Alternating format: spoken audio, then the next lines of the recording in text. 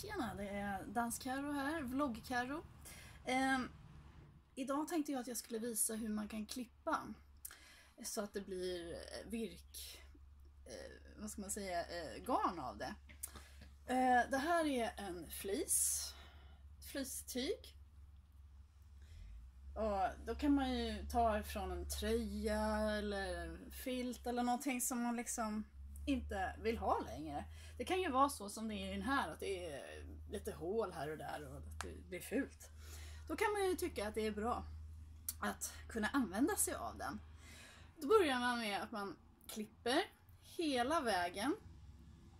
Tänk på att ha någon, någon liten sömsmån liksom så här så att det inte blir allt för tunt.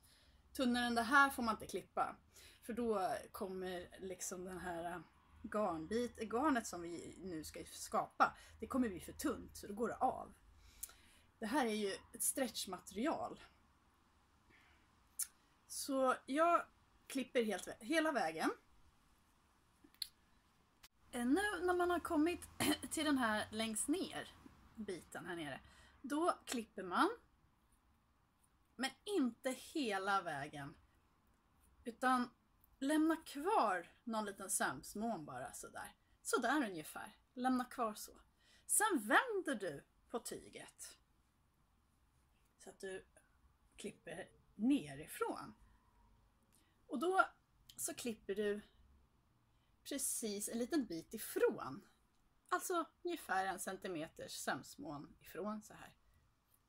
Så. Då fortsätter du att klippa på det här sättet. Och då kommer det liksom att eh, hela vägen ner som vanligt. Och så gör du likadant, du vänder och hela vägen upp, du vänder hela vägen ner. Och sen håller du på sådär hela tiden. Och då kommer de här att sitta ihop. Ja, det kommer inte vara snyggt. Nej, det här är inte så snyggt. Men det kan vi ju fixa till efteråt. Så det är ju inga problem. Och när man har fått hela det här så det blivit som ett garnnystan, liksom, då, det är då som först man kan börja att virka så som jag har gjort här.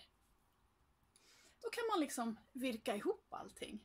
Och man behöver en, en väldigt, väldigt stor, ja, jag vet inte, sju står det på den här. Så att en väldigt stor sån här behövs. Eh, virknål.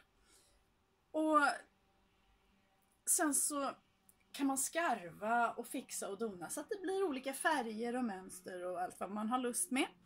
Eh, det kommer att bli ganska fult så här. Det blir eh, lite stora eh, sådana pluppar här och där som ni ser.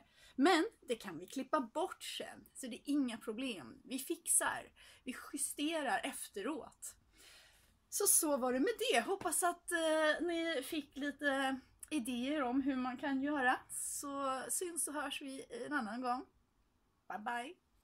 Förresten, Tänk att jag jämt glömmer bort det. Ni kan väl liksom tummen upp ifall ni tycker att det är bra grejer jag gör. Och, och så kan ni väl kommentera eller någonting. Och följa mig, självklart.